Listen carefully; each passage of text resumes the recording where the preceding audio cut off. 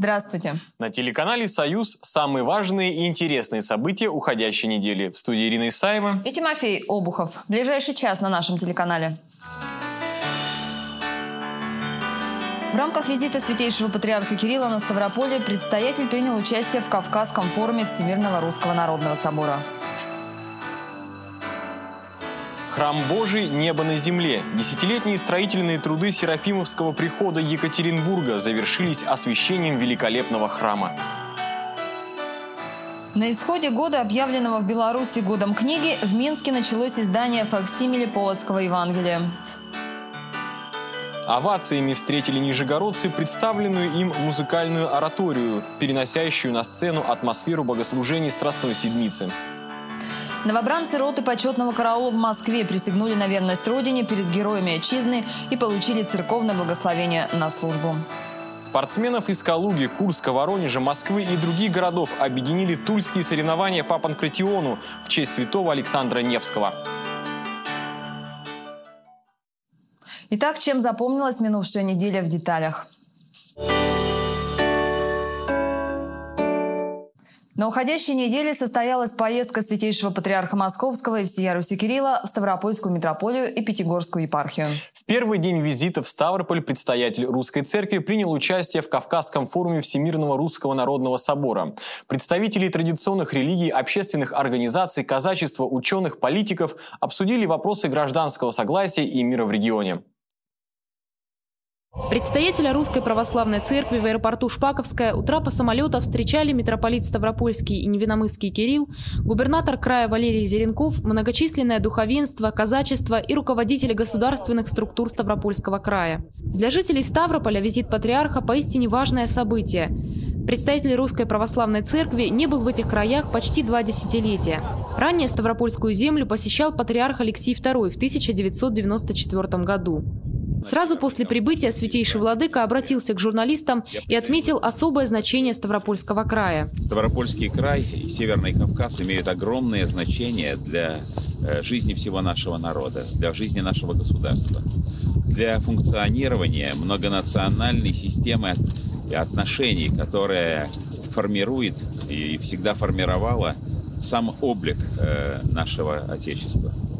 За несколько часов до прилета в Ставрополь Святейший Владыка присутствовал в Кремле на ежегодном послании президента Российской Федерации к Федеральному собранию. Главным в послании президента в этом году патриарх считает приоритет человеческой личности.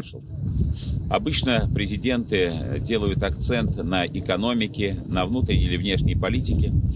В нынешнем послании акцент был сделан на самое главное – на человека, на человеческую личность на формирование духовного, культурного, нравственного облика э, россиянина. Из аэропорта предстоятель Русской Церкви отправился на пленарное заседание Ставропольского форума Всемирного Русского Народного Собора. Форум объединил священнослужителей, общественных и религиозных деятелей, ведущих ученых со всей России и стран Закавказья. Надо совершенно честно сказать, ведь самое главное, не может Народный Собор сразу все перевернуть но очень важно начать движение. Движение, которое оно и есть, к миру и согласию.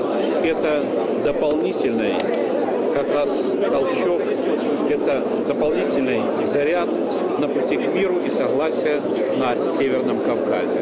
После краткой молитвы и благословения предстоятеля митрополит Кирилл объявил пленарное заседание открытым. Позвольте на этом считать наш Ставропольский форум Всемирного Русского Народного Собора открытым.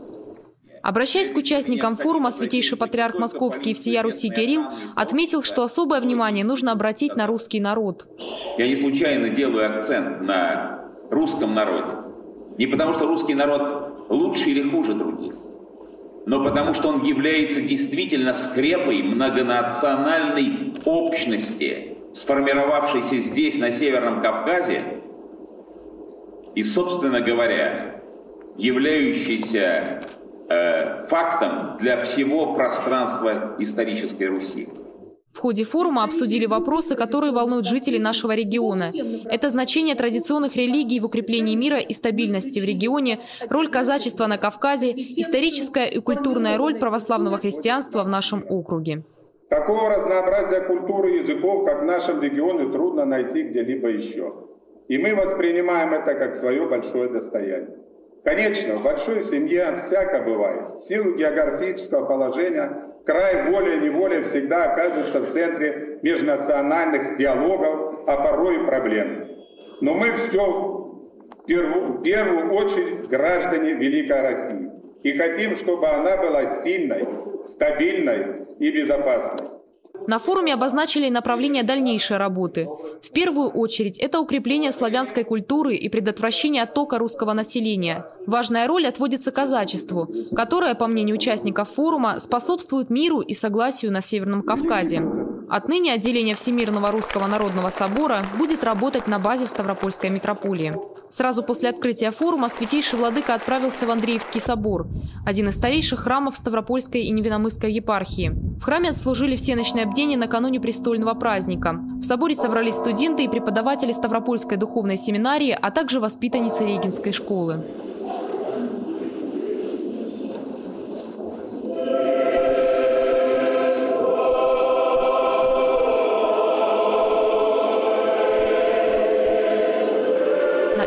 Завершился первый день первосвятительского визита патриарха Кирилла на Ставрополье. А в день памяти святого апостола Андрея Первозванного предстоятель совершил чин великого освящения Казанского кафедрального собора Ставрополя и божественную литургию в новоосвященной церкви. Перед этим на площади перед храмом патриарх осветил колокола соборной звонницы. Обо всем по порядку рассказывают наши коллеги со Ставрополя. Во второй день первосвятительского визита в город Ставрополь святейший патриарх Московский и всея Руси Кирилл посетил Казанский собор. Предстоятеля на территории храма приветствовали митрополит Ставропольский и Невиномысский Кирилл и губернатор Ставропольского края Валерий Зеленков.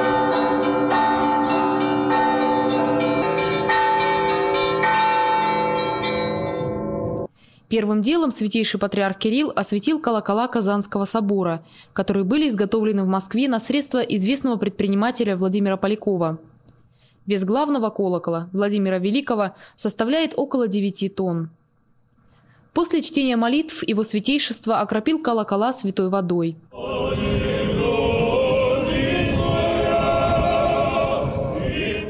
Наступил долгожданный момент – Жители города услышали звон колоколов храма во имя Казанской иконы Божией Матери.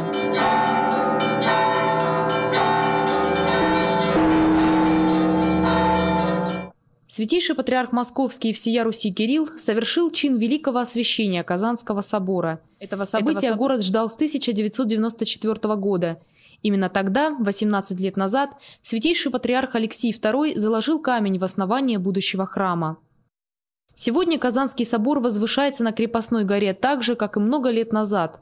Он служит символом духовного возрождения и центром притяжения верующих со всего Северного Кавказа.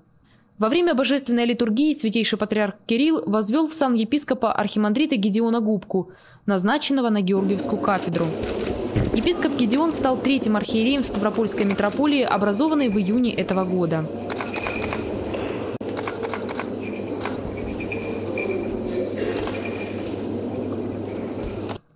Этот день стал праздником для тысяч православных. Помолиться на патриаршем богослужении пришло большое количество человек. И, естественно, все желающие не смогли попасть в собор. Поэтому для тех, кто остался снаружи, установили экран, на который транслировали службу. Несмотря на холод, люди несколько часов молились вместе с предстоятелем. Сподобились видеть патриарха нашего, да еще на службе быть. Хоть и здесь, но все равно на службе быть. Это же везде, везде все встречается. Все-таки приехал владыка наш. Конечно, может что-то для нашего города, что-то будет и для людей, что-то будет лучшее.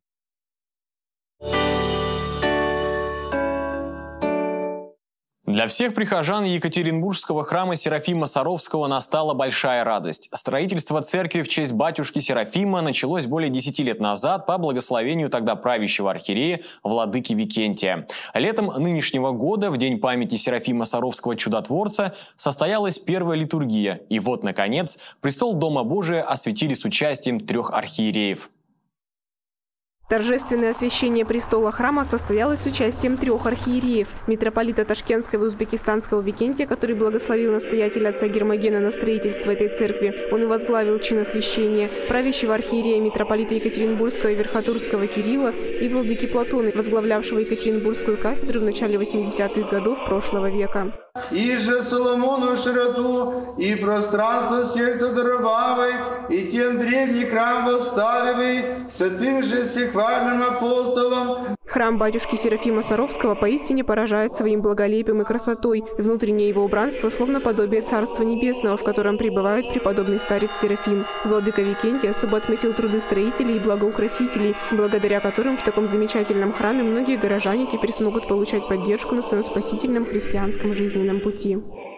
Несколько человек, которые положили свои труды свои средства для того, чтобы вот эту красоту создать и дать нам дар Богу и нам, людям, чтобы мы могли здесь пользоваться этим, этой красотой, радоваться, приходить, молиться и созидать себе Царство Божие.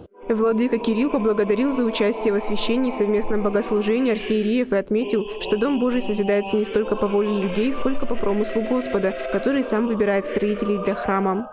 Мы благодарны Господу, что Он нашел этих строителей, благословил их сделать этот еще одно святилище славы Божией здесь, в нашем городе Екатеринбурге. И надеемся, что до скончания века этот храм простоит для того, чтобы многие души людей спасались здесь и с Божьей помощью входили бы в небесное вечное царство. Отец Гермоген отметил помощь прихожан в строительстве Дома Божия.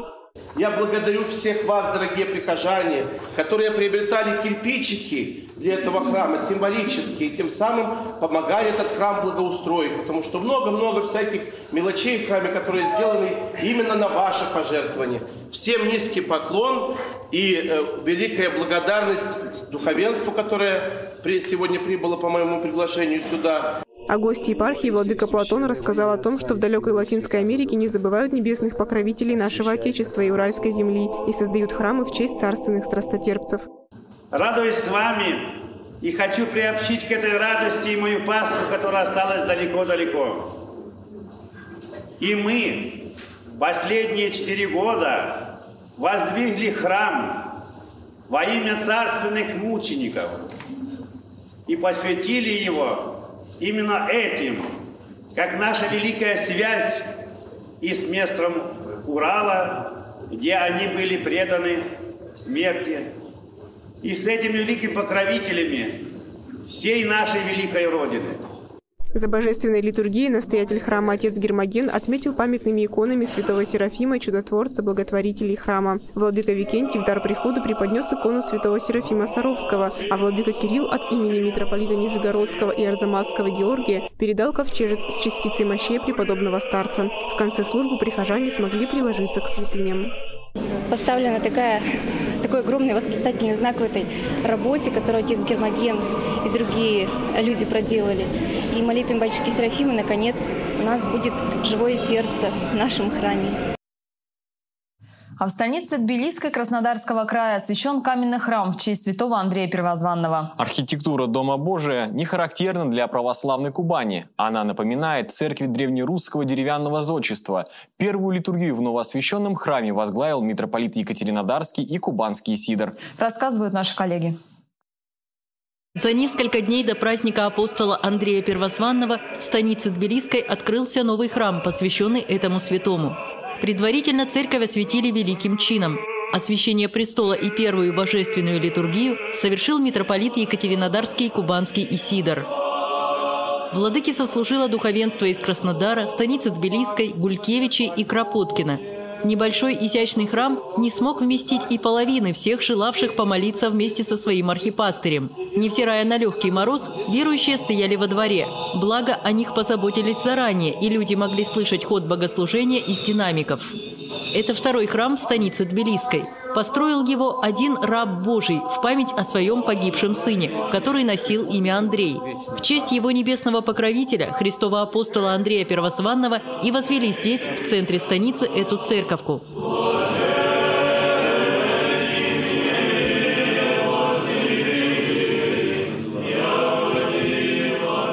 Получился в стиле древнерусского зодчества. Много храмов подобной архитектуры, только выполненные в дереве, а не в камне, украшают северное селение нашей Родины. На кубанской земле он смотрится необычно и сразу привлекает взоры. По окончании литургии владыка-митрополит обратился к верующим с проповедью.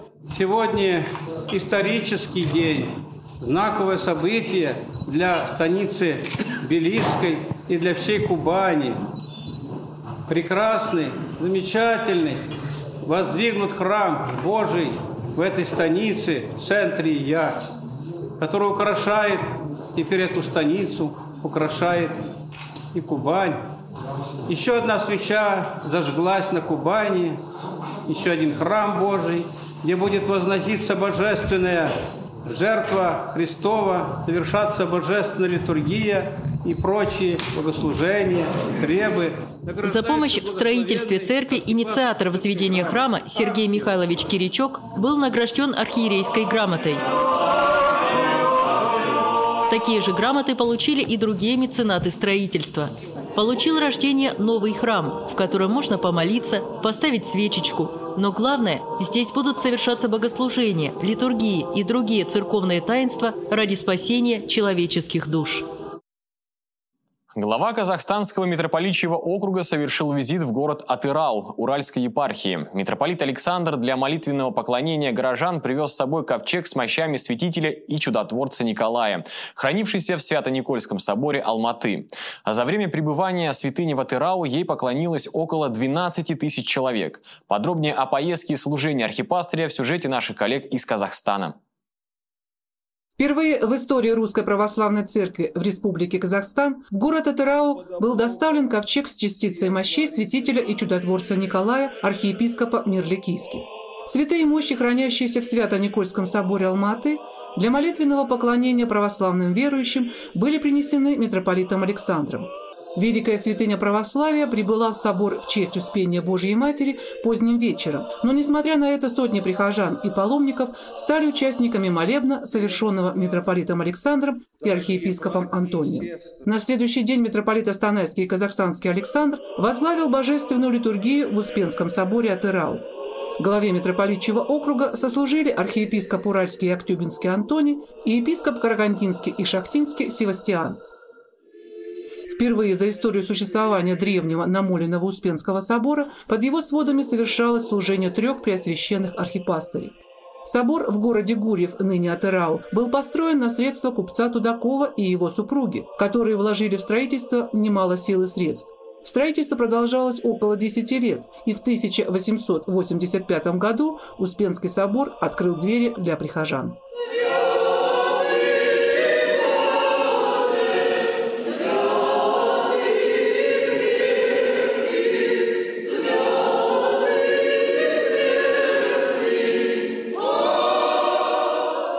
Литургия завершилась славлением пред ковчегом с мощами святителя и чудотворца Николая.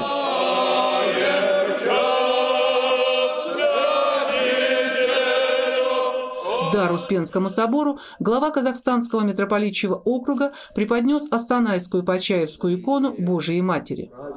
В центре изображена Почаевская икона Божией Матери, которую держит два ангела и осеняют ей град Астану и живущих в земле казахстанской, потому что покров Пресвятой Богородицы всегда был над верующими ее Сына, над землей нашей, и есть, и будет нескончаемые веки.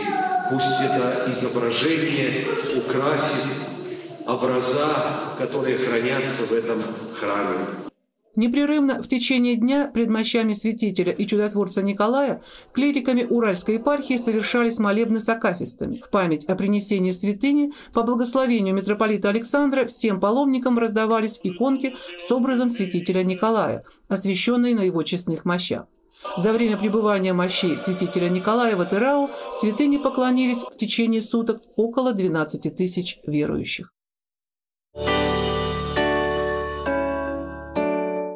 Годовщина нового Ярославского храма. Исполнился год со дня освящения церкви в честь Ярославской иконы Божьей Матери. Она была возведена в микрорайоне Сокол в рекордные сроки за три месяца. В праздничный день службу здесь возглавил митрополит Ярославский ростовский Пантелеймон. На божественной литургии побывала съемочная группа наших ярославских коллег. Им слово. И вознеси молитвы наши по престолу Бога Сына Твоего, да милостью будет неправдам нашим, и пробавит благость свою. Небольшой малогабаритный храм был построен в максимально короткие сроки. От освящения закладного камня до освящения церкви прошло три месяца. Этим событием было ознаменовано и вступление на Ярославскую кафедру нового владыки, о чем он, конечно же, не забыл. Помню и, и тот день, и тот месяц, ибо это для меня памятное событие было еще и усугублено тем, что по моему только-только прибытию на Ярославскую землю мне представилась возможность осветить место для вновь строящегося храма. Патриарх Кирилл еще несколько лет назад поставил перед духовенством страны задачу – строить храмы в шаговой близости от жилых кварталов. Церковь Ярославской иконы Божией Матери как нельзя лучше вписалась и в контекст церковной стратегии, и в архитектурный облик формирующегося квартала, стала его украшением, духовным и культурным центром. Сейчас только сторожилы помнят, что здесь, в Дядьково, тоже была когда-то церковь, деревянная, во имя Ильи Пророка. Она находилась как раз на территории школы 21 где мы учились. Красивая была. Она была деревянная, и причем она сгорела то ли в 47 году. Сегодня владыка Пантелеимон озвучил цель – построить в новых кварталах города еще 11 таких же небольших храмов. Для общины этой церкви прошедший год стал плодотворным. Уже несколько месяцев при храме существует детский хор. Ведется работа над документацией по строительству храма во имя благоверного князя Ярослава Мудрого и православного детского сада. Детский сад будет рассчитан на порядка от 80 до 100 человек. То есть будет 4 полноценные группы, 20-25 человек вот, с питанием. То есть совсем это будет настоящий детский сад. Вот, только вот еще и православный, как бы с верующими, хорошими воспитателями, мы надеемся. Праздник не обошелся и без подарков. Сегодня митрополит Пантелеимон осветил новые писанные иконы иконостаса. Весь год он был заполнен печатными изображениями святых. С сегодняшнего дня на их место станут образа, исполненные художниками. Как это часто бывает, благое дело по чудесному проведению обрело и благодетелей. В храме надеются, что добрые люди не оставят их и в будущем. Епископ Кузнецкий Никольский Серафим отметил День ангела. Архиерейские именины в Кузнецке проходят впервые в новейшей истории города, а для молодого иерарха это первое тезаименитство в сане епископа. Церковного торжества репортаж Евгения Белохвостикова. В Вознесенском соборе Кузнецка не так многолюдно, как в выходной или на большой праздник. День памяти священномученика Серафима Чичагова. Для местных прихожан дата пока непривычная. Теперь ей предстоит стать одним из главных епархиальных событий года.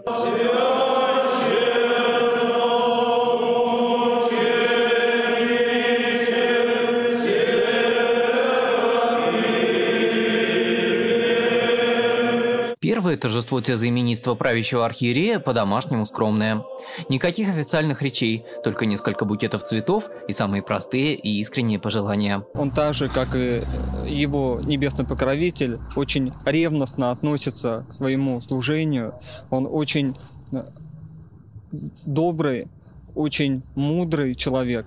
И э, надеюсь, что он действительно принесет очень много полезного э, Святой Церкви. Литургия началась еще задолго до расцвета. Чтобы поздравить Владыку с его Днем Ангела, несколько человек специально приехали из Пензы. Нам очень радостно было, и действительно нетрудно было встать и в 5 утра, и поехать и поздравить, и помолиться о том, чтобы Господь даровал ему сил, а, как нашему новому и любимому архиерею, архипастырю, э, управлять своей паствой, любить, а так же, как и его покровитель. Ровно 75 лет назад на Будовском полигоне был расстрелян один из самых незурядных церковных деятелей 20 века – митрополит Серафим. Выходец из знаменитого дворянского рода, участник русско-турецкой войны, полковник, автор двух томов медицинских трудов, духовный композитор, составитель летописи Дивеевского монастыря и инициатор канонизации Серафима Саровского. В тюрьму на последнем аресте старца-митрополита везли в карете скорой помощи, но болезни и гонения не сломили его дух. Самое главное, конечно, во всем этом составляет именно его пример его мужества. Потому что вот как человек э, даровитый, одаренный, он не потерял и не утерял э, простого христианского, человеческого достоинства, никогда не скрывался, не убегал от, от того подвига, который готовил ему Господь. Я искренне говорю о том, что пример священномученика является для меня таким примером мужества и стойкости во Христе. На Кузнецкой кафедре владыка Серафим всего три месяца. Клирики и миряне пожелали ему помощи Божией в нелегком архипасторском труде еще на многое лето. В Санкт-Петербурге в сезон номер один тюремный храм во имя святого благоверного великого князя Александра Невского отметил свой престольный праздник. Литургию в этот день совершил благочинный по тюремному служению протеерей Алекс Скоморох. Помолиться пришло более ста заключенных.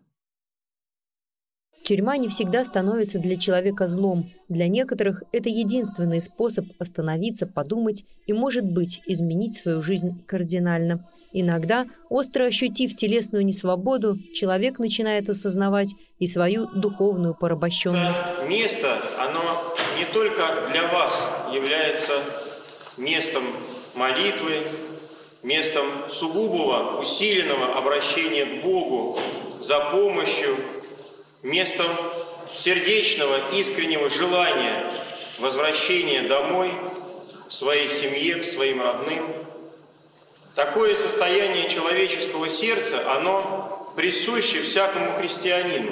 В СИЗО есть и подследственные, и заключенные. Первых священник навещает в камерах, и только вторые имеют возможность посещать храм. И этой возможностью они дорожат. Облегчает как-то жизнь наличие храма здесь? Конечно.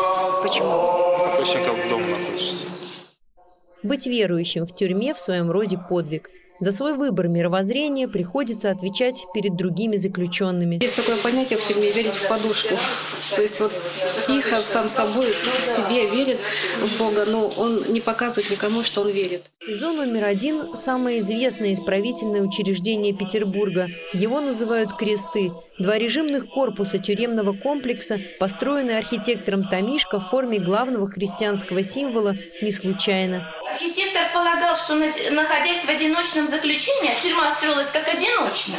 И обращаясь ко Всевышнему, преступник раскается в совершенном преступлении. Вот такая светлая христианская идея положена в основу строительства тюрьмы. То, что храм в тюрьме нужен, понимают и сотрудники. Их опыт подсказывает. Вера – лучший воспитатель. Когда есть церковь, когда есть батюшка, который непосредственно занимается осужденными, вот, становит их на путь истинный. Понятное дело, что все, конечно, не станут на этот путь, но вот, я думаю, хотя бы если один из десяти задумается да, о сущности жизни и станет на тот путь, да, не будет больше нарушать, не будет допускать каких-то там употреблений наркотиков, там, употребления спиртных напитков в больших количествах. Соответственно, я думаю, что э, жизнь изменится у него, и он не будет больше нарушать. У тюремного храма в крестах есть своя важная задача, и он ее выполняет. Человек, когда попадает в тюрьму, а, он готовится к суду. Вот, и перед ним встает сразу дилемма из нескольких вопросов, как себя вести на суде. А священник ему напоминает, что есть э, заповедь о лжесвидетельстве, что ее нарушать нельзя, что это великий грех. И вот тогда уже заключенному легче, он, он понимает, что нужно говорить правду. И когда он это делает, то обычно Господь помогает ему. Бывали случаи, когда раскаяние приводило к тому, что человека выпускали на волю прямо из зала суда. Но случалось и напротив. Отец Георгий поделился историей об одном заключенном, который на суде, мучимый совестью, признался в совершении тяжких преступлений, хотя под стражу был взят за мелкий проступок. Вы понимаете, что лучше наказание понести здесь, поэтому он сделал все правильно, шел во всем признался. Господь ничего не посылает человеку случайно. Спасительным может стать даже заключение под стражу. Отвратиться от зла никогда не поздно. Продолжит выпуск сообщения из столицы Италии. В вечном городе Риме на минувшей неделе почтили память святой великомученицы Екатерины. По благословению святейшего патриарха Московского и всея Руси Кирилла праздничная служба здесь была перенесена с 7 декабря на воскресенье 9 декабря. О том, как прошел престольный праздник в Екатерининском храме Рима, наш следующий материал.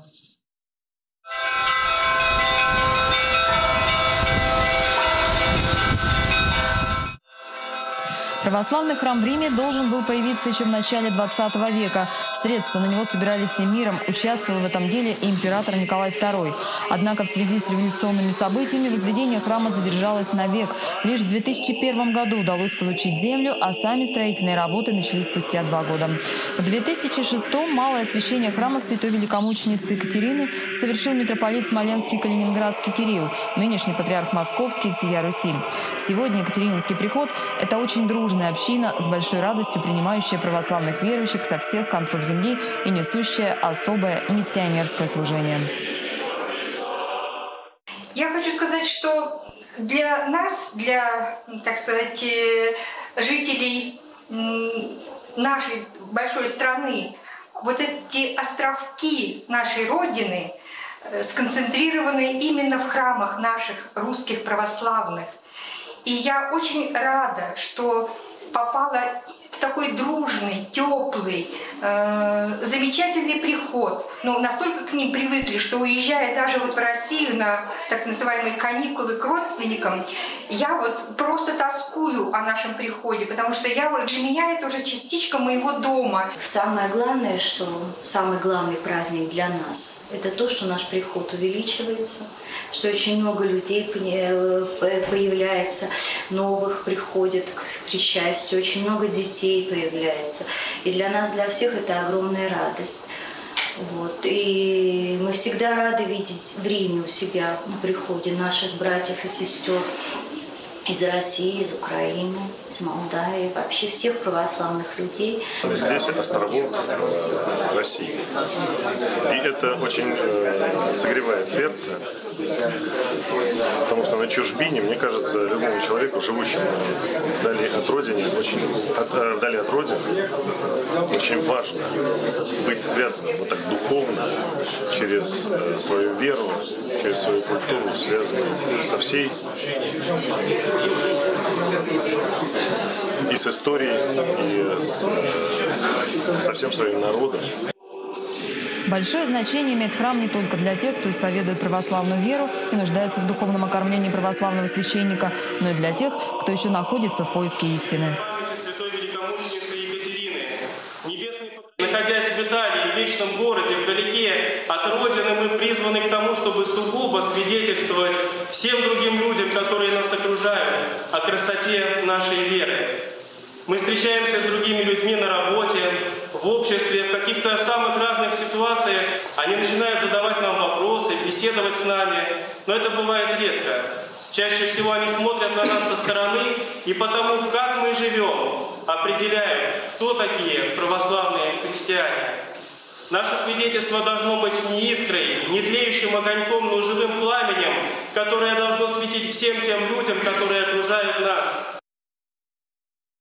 И вновь к сообщениям из российских регионов. На днях Санкт-Петербург посетила большая делегация из Грузии. Светскую программу посвящения украсил благодарственный молебен в храме Шестаковской иконы Божьей Матери, которую в сослужении священства и прихожан храма совершил и епископ Ладейно-Польский Мстислав. В храм Шестаковской иконы Божией Матери грузинская делегация, в которую вошли писатели, видные ученые, академики, профессора и студенты крупнейших вузов Тбилиси, прибыла после посещения Санкт-Петербургского государственного университета, где на юридическом факультете в 60-е годы XIX века учился Илья Григорьевич Чевчавадзе, князь, видный грузинский поэт и публицист, который был канонизирован Грузинской православной церковью в 1987 году.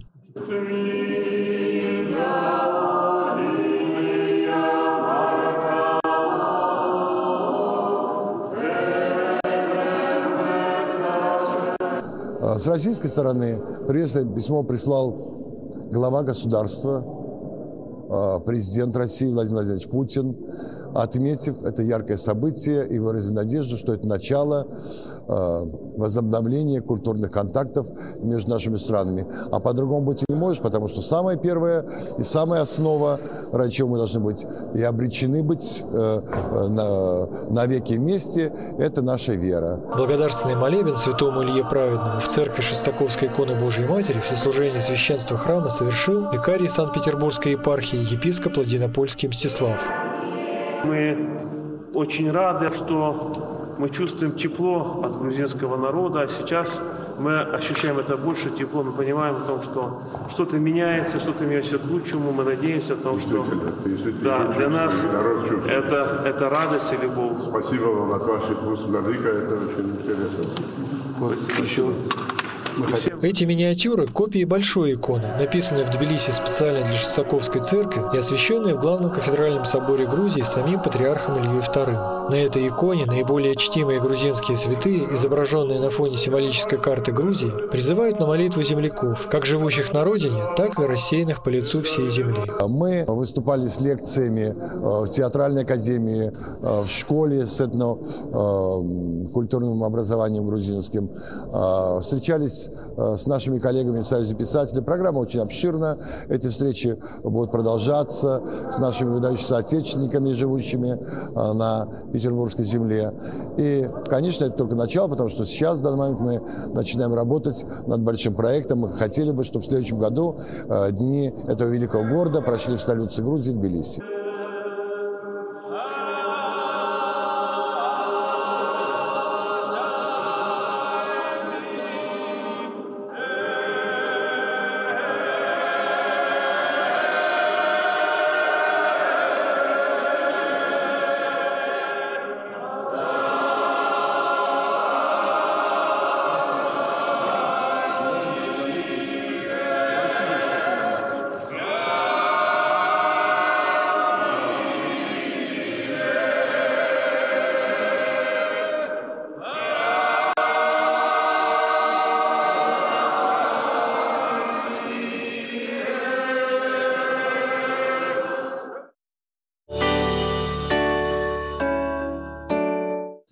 Москве на Поклонной горе принесли торжественную присягу новобранцы одного из элитных подразделений роты почетного караула. Клятву на верность Отечеству дали 250 курсантов. Военнослужащие 154-го отдельного комендантского полка сопровождают официальные мероприятия, встречи глав правительств и иностранных делегаций. Вот уже несколько лет курсантов окормляет епископ Иероним Чернышов, настоятель церкви Дмитрия Донского, устроенный при комендантском полку. Репортаж Ольги Снисаренко. Присяга традиционно проходит в Зале Славы, и ее невидимые свидетели – это 11 717 героев Советского Союза, участники Великой Отечественной войны, чьи имена выбиты на мраморных стенах комплекса. Клятву закрепляет личная подпись солдатам. Чтобы попасть в элитное подразделение, призывники проходят строгий отбор, учитываются внешние данные, физическая подготовка, умение себя подать. Все это очень важно, поскольку военнослужащим роты приходится нести вахту во время различных церемоний и парадов. если физическая крепость – заслуга командиров полка, то за духовную отвечает епископ Иероним, настоятель полкового храма.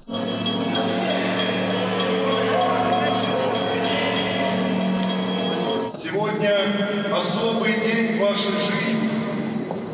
День, когда вы дали клятву на верность служению своему святому Отечеству. День, когда вы в этом прекрасном зале огласили текст воинской присяги. Пусть Господь помогает вам в вашем ратном деле. Каждому воину после присяги и окропления владыка вручает по иконке. Раздают образки Дмитрия Солунского, Федора Ушакова, Александра Невского, других святых воинов. С напутствием. Пусть они поддерживают солдат в тяжелые минуты и обязательно помогают на пути к Богу. Военнослужащие нашего полка выполняют очень серьезные и ответственные мероприятия практически ежедневно в течение всего года службы. И э, то, что рядом имеется, э, на территории полка есть полковой храм, Э, настоятелем которого является владыка Раним. То, что лично он очень часто приезжает на территорию полка, его помощники, э, служители приезжают к нам. У нас еженедельно в храме полка проводятся службы к часам. Это очень сильно помогает нам а в частности личный состав солдат и сержантов срочной службы, подготовиться и качественно и без ошибок выполнять все мероприятия высокого уровня. Для многих день приведения к присяге становится одним из главных в жизни. В течение целого года призывникам придется оттачивать военное мастерство, учиться виртуозно владеть оружием и безупречно держаться в строю.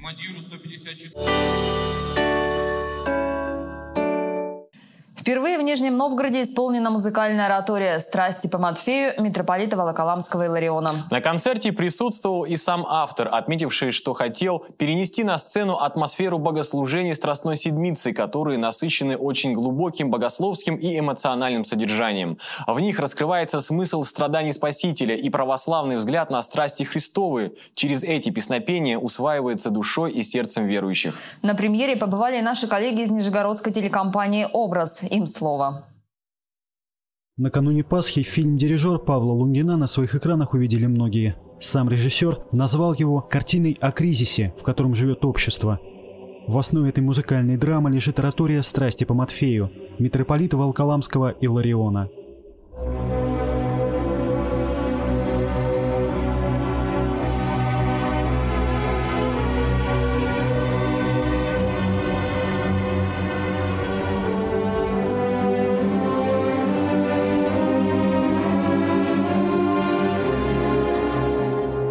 Оратория – сложное произведение для хора, солистов и оркестра. Ее предшественниками были средневековые литургические представления, своего рода проповедь вне храма. Выражение «ходить в ораторию» употреблялось наравне с фразой «ходить в церковь». Первые страсти по Матфею создал Иоганн Себастьян Бах. Свое произведение владыка Иларион написал еще пять лет назад, когда был епископом Венским. В Нижнем Новгороде его услышали впервые.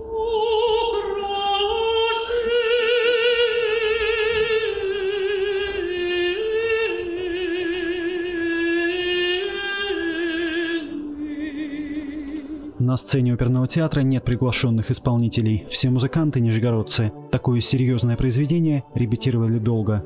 Сочинение масштабное. А, для таких сочинений нужен очень значительный состав хора, а, поэтому и достаточно широкий состав струнной группы оркестра. Поэтому а, сегодня струнная группа театра усилена частью струнной группы оркестра консерватории. И э, принимает участие помимо хора театра еще два коллектива. Это муниципальный камерный хор Нижний Новгород и хор женского духовного училища. Музыка написана с очень хорошим знанием хорового вокала, во-первых, а, вот. И, во-вторых, очень доходчиво, просто и ну, просто идет в душу. Поэтому запоминается довольно быстро. Сложностей не было. Основа оратории – евангельский текст о последних днях из жизни Спасителя. Четыре смысловые части – предательство Иуды, арест Иисуса, распятие и погребение – соединены в одно музыкальное пространство – Наравне с авторскими мелодиями звучат канонические богослужебные тексты. Все первосвященники и старейшины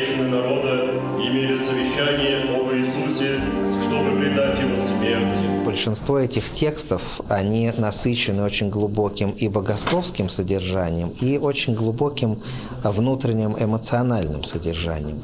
И они очень легко ложатся на музыку. И вот э, мне хотелось эти тексты посредством музыки донести до широкого слушателя. Потому что, к сожалению, и Многие православные христиане этих текстов просто не знают. Это редкость, когда э, высшие иерархии православной церкви имеют такое непосредственное отношение к профессиональной академической э, музыке и создают крупные э, произведения, связанные и с церковной жизнью, ну и вообще крупные произведения, оно для искусства, для культуры страны в целом существует.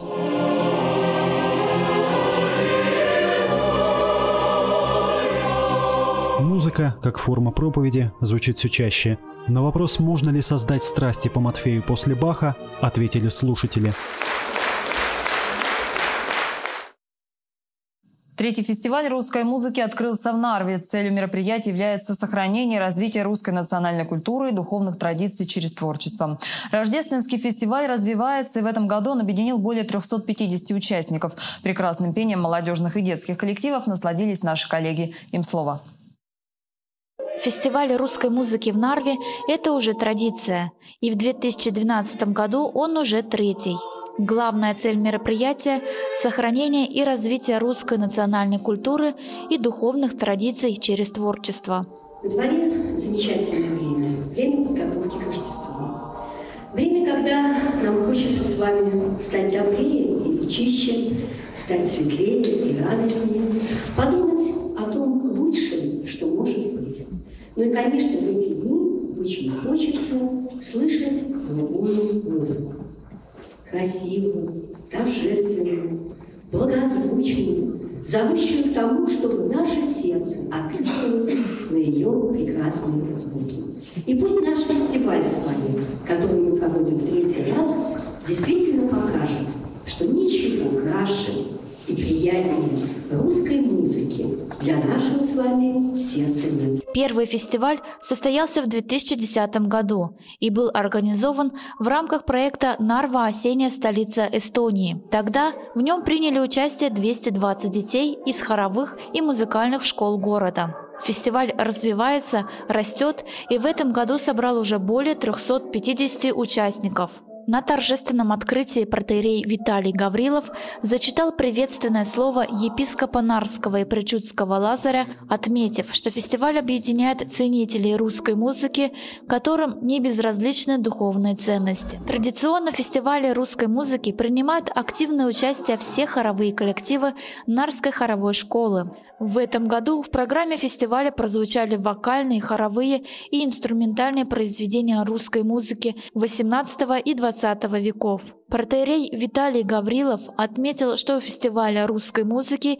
есть большое будущее. У меня в этот раз были какие-то сомнения, нужно ли это дело, начатое теперь уже три года назад, продолжать. Находясь сегодня на таком замечательном концерте, фестивале, я пришел к мысли, что, во-первых, уровень становится выше, во-вторых, становится больше участников такого фестиваля. Такие концерты очень необходимы. Необходимы для того, что видишь, сколько ребят, которые заняты важным делом. Убежден, что этого фестиваля есть большое будущее. Кульминацией вечера для поклонников вокальной и хоровой музыки стало выступление гостей фестиваля вокального ансамбля студентов Art Cool Санкт-Петербургской музыкальной консерватории. Благослови душе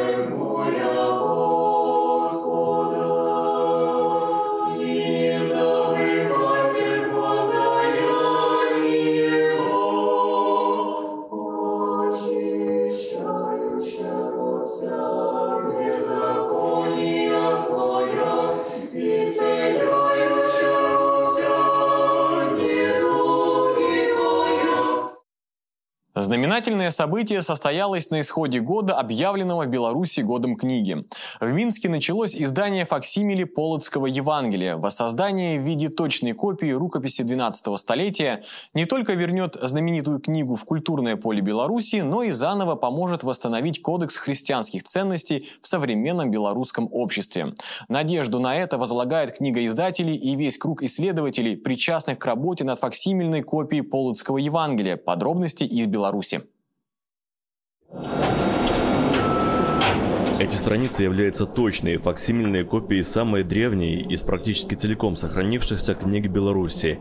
Полоцкое Евангелие, написанное в конце 12 века в самом древнем городе Белой Руси вот уже более пяти столетий, не появлялось на родине. Сейчас оригинал святыни хранится в российских государственной и национальной библиотеке. Благодаря церковной дипломатии, взаимодействию Министерств культуры России и Беларуси, сотрудниками издательства Белорусского экзархата удалось оцифровать древние страницы. И вот сейчас, после профессиональной обработки электронной копии Полоцкого Евангелия и создания комментария и исследования, наступил самый ответственный момент. Печать страниц, оригинал которых по преданию переписывала преподобная Ефросинья, игуменья Полоцкая. Евангелие переводится как «благовестие». Это, по сути, возрождение кодекса человеческой нравственности. И это возвращение нас к тому, что наши предки были в высшей степени нравственными людьми. И мы должны помнить нашу свою историю. И в этом плане, собственно говоря, возвращаться к истокам ее, потому что на сегодняшний день мы ее, можно сказать, частично утратили и утеряли в силу последних тенденций. Вот. И этот проект, по сути, знаменует собой вот, возвращение к нашим духовным корням. Знаковым это издание является и потому, что осуществлено в год празднования 1150-летия Полоцка и 1020-летия Полоцкой епархии. Символично и то, что для факсимильного воспроизведения самой древней книги Беларуси используются самые современные технологии.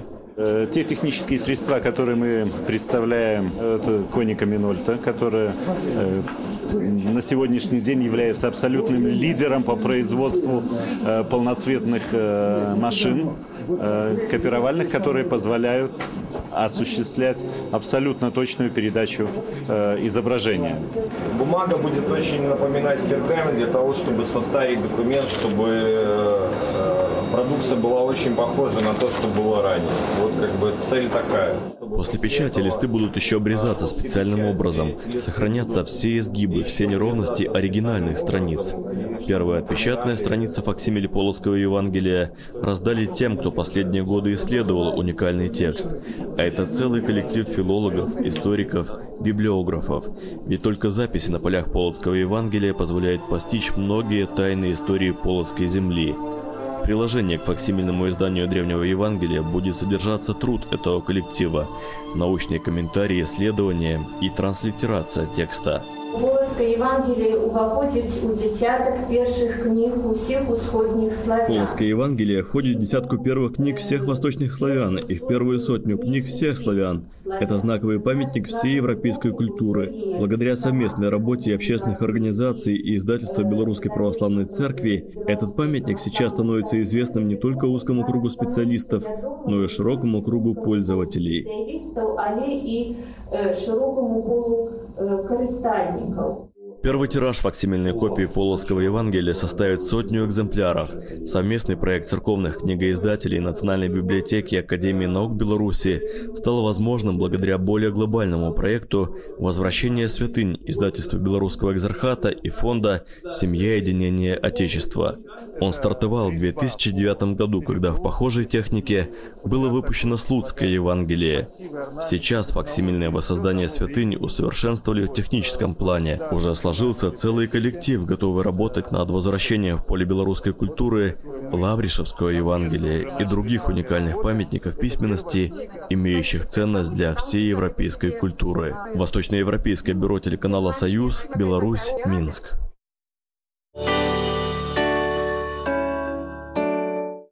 Святитель Филарет Московский говорил, любите врагов своих, внушайтесь врагов Христа и бейте врагов Отечества. Этому принципу следуют православные спортсмены военно-патриотических клубов. В Туле они приняли участие в соревнованиях по панкратиону в честь святого Александра Невского. Помериться силами приехали 40 спортсменов из Калуги, Липецка, Курска, Воронежа, Москвы и других городов. Организаторы мероприятия пожелали участникам победы духа, смелости, храбрости и настойчивости в предстоящей борьбе. Подробности в сюжете информационного отдела Тульской метрополии. В спорткомплексе «Динамо» прошли межрегиональные соревнования по панкратиону, самому яркому и самому трудному состязанию древних Олимпийских игр, дошедшему до нас из глубины веков. Я рад вас приветствовать на Тульской земле, где традиционно уже проводится турнир а, Александра Невского. Я рад, что а, Панкратион пустил корни на Тульской земле. Надеюсь рассчитываю, что представители других областей, которые здесь присутствуют, также э, поднимут знамя Панкратиона и будут его достойно нести. Хочу вам пожелать э, отношения к сопернику по спортивному, да, то есть уважайте бойца, который стоит против вас. Всем спорт, всем спасибо. Соревнования начались с приветственных слов организаторов и молебна, совершенного духовником тульских спортсменов Иереем Василием Шаталовым. «Приди, вселися в нее, очисти на всякие скверные, спаси блажи души наша, Бог, чей создатель всяческих Божий, дела рук наших славе Твоей, начинаем, я Твоя Твоим благословение спешно исправи, и нас от всякого зла избави, яко един всесильный человеколюбец. Тульский клуб военно-патриотического воспитания на основе православной веры имени святого благоверного князя Александра Невского возрождает и развивает панкратион, проводя активную молодежную политику, направленную на патриотическое воспитание, оздоровление и духовное развитие подрастающего поколения. Наше движение инициирует ежегодное проведение соревнований под названием Кубок Александра Невского. Цель соревнований э, сплочение вокруг имени святого и в то же время показать свои э, спортивные достижения навыки. Все клубы, которые приехали сегодня на соревнования, они являются членами движения, э, межрегионального движения Александра Невского. Помериться силами в Тулу приехали 40 спортсменов из Калуги, Липецка, Курска, Воронежа, Москвы и других городов. С каждой командой прибыла группа поддержки. Приехали поддержать своих ребят, привезли ребят выступить в соревнованиях в турнире Александра Невского, так как э, считаем, что необходимо, чтобы ребята получили опыт, э, росли здоровыми, и морально, физически, крепли духом. Участники показали высокий уровень спортивного мастерства, лишний раз подтвердив, что всякая сила должна зиждиться на духовном фундаменте православной веры. Такая связка позволяет чувствовать духовное родство со спортсменами всей России и реализовывать основные принципы панкратиона, отрицающие безделие, бездушие и безверие. Во-первых, спасибо огромное организаторам. Хороший турнир, все ребята дружно очень относятся, тепло. Все, кто принимал участие в этих соревнованиях, мы одно духовное братство. Современные богатыри понимают, что патриотическое служение Родине невозможно без Божьей помощи. Мы организуем общероссийское движение Александр Невский, принимаем все больше и больше клубов и участников. Э, соревнования будут проводиться регулярно в памяти святого благоверного князя Александра Невского. Я рад, что с Божьей помощью наши ребята и приезжие ребята заняли первые места и показали дух и волю к победе. Во все времена, самоотверженно защищая Родину, наши предки уповали не только на силу оружия, но на помощь Господа и предстательство Царицы Небесной. Нынешние соревнования по панкратиону продолжают эти традиции, способствующие объединению молодежи вокруг имени святого князя Александра Невского в единстве силы и православного духа. На этом обзор событий церковной жизни завершен. На предстоящей неделе нас ожидают следующие значимые даты. В понедельник будет совершаться память святой великомученицы Варвары и святителя Геннадия, архиепископа Новгородского. Во вторник же день памяти преподобного Саввия Священного. Следующим особым пометованием отмечена среда, когда церковью установлено празднование в честь святителя Николая, архиепископа Мирликийских чудотворца. Во всех храмах пройдут торжественные богослужения в честь этого почитаемого во, всех, во всем христианском мире святого святого угодника Божия. И на следующее воскресенье придется празднество в честь святителя Иосафа Белгородского. О том, как отметит русская церковь эти торжества, мы расскажем уже на следующей неделе. Всего вам доброго. До свидания.